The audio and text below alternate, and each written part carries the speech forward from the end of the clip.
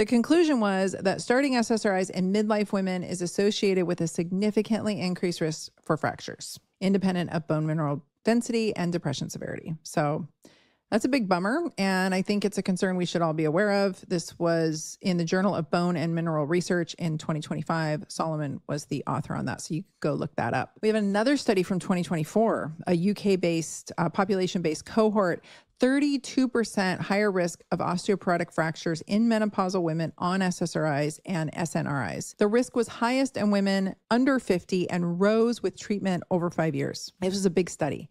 They looked at, it was a population based cohort using a medical research database. They looked at over about roughly 293,000 menopausal women. They looked at women over 50 years old and under 50 years old with menopause and with common mental health diagnoses. So, if they had depression, they were all in the same cohort. They followed them for a median of six years and they compared the SSRI users to non users via cohort analysis and self controlled case series. So, the overall risk again was 32% increased risk of osteoporotic fractures in the SSRI users.